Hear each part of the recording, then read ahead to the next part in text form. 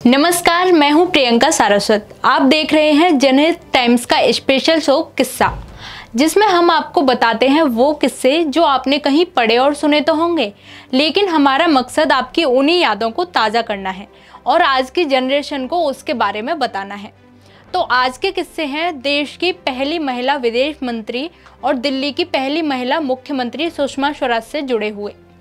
सुषमा स्वराज ने अपने मज़बूत इरादों का हर मोर्चे पर सशक्त परिचय दिया।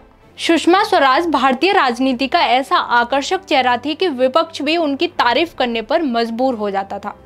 सुषमा के भावुक किस्सों ने देश की आवाम का दिल जीता था। सुषमा हर किसी की मदद के लिए हमेशा तैयार रहती थी। सुषमा स्वराज का एक भावुक किस्सा है। यमुना एक्सप्रेसवे पर एक इतालवी नागरिक का एक्सीडेंट हो गया था। इस हादसे में चार लोग घायल हुए थे। तभी किसी ने सुषमा को ट्वीट किया कि हादसे में एक युवक फेरिस गंभीर घायल हुआ है और वो कैलाश हॉस्पिटल में अकेला है।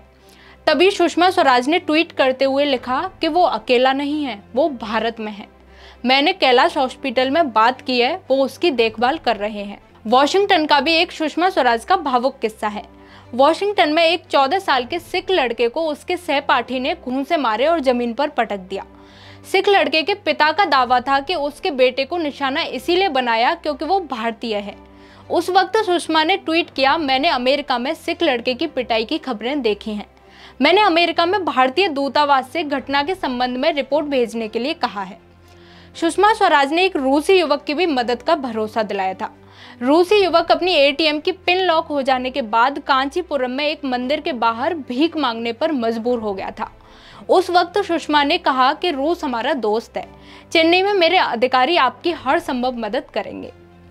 सुषमा स्वराज भले ही आज हमारे बीच नहीं है, लेकिन उनके ये भावुक किस्से और उनकी यादें हमेशा हर देशवासी के दिलों में ज़िंदा रहेंगी। आपको सुषमा स्वराज के ये भावुक किस्से कैसे लगे, हमें कमेंट बॉक्स में ज़रूर बताएँ। देश और दुनिया की तमाम खबरों के लिए देखते रहिए जेनेट टाइम्स। धन्यवाद।